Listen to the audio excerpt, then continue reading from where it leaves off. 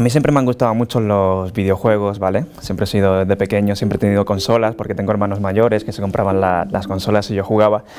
Y básicamente empecé en YouTube porque un día estaba en mi casa y, navegando por YouTube eh, encontré un canal de un chico que se llama Dan Bull, un chico británico que lo que hacía era eh, cogía un videojuego, una historia de un videojuego y le hacía una canción. Y entonces yo, ya que me gustaban mucho los videojuegos y yo llevaba también rapeando bastante tiempo, porque eh, desde que tengo 11 o 12 años eh, siempre he estado haciendo mis letras, mis cosas, y pues dije, coño, pues esto no lo está haciendo nadie en España y me parece guapísimo lo que está haciendo este chico, voy a hacer algo, algo similar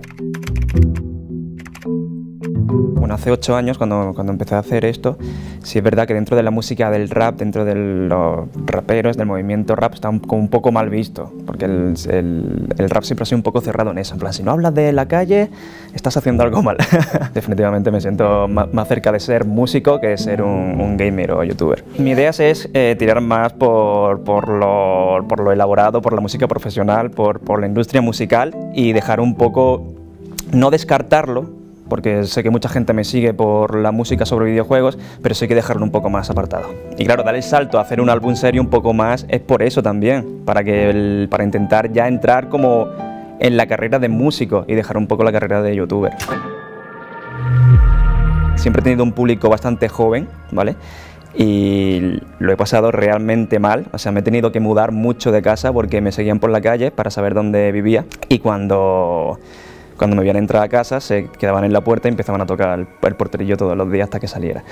Y de hecho me, he mudado, creo que cinco veces por eso, porque siempre intentaban, si me veían por la calle me seguían, siempre. Y hasta el punto que la casa en la que vivo ahora es un recinto cerrado, que para llegar a mi casa tienen que pasar por cuatro puertas.